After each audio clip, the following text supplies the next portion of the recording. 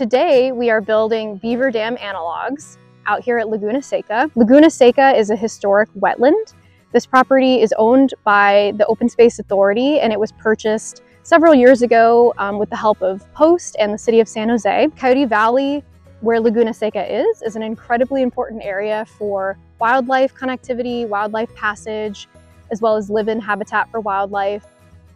Laguna Seca is a historic wetland and it used to be much more extensive than it is today and water used to stick around much later into the season than it does now.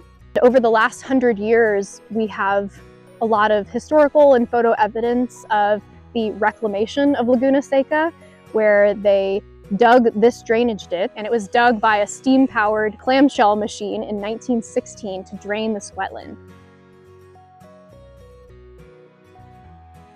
We also believe that they installed underground tile drains in order to farm this land to, to drain it further uh, for agriculture.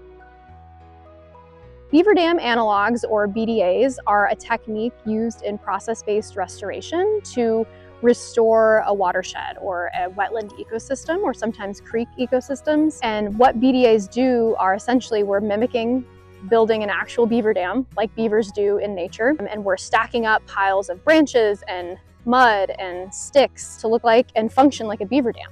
And what we're hoping is that these beaver dam analogs will retain more water in the wetland for longer into the dry season.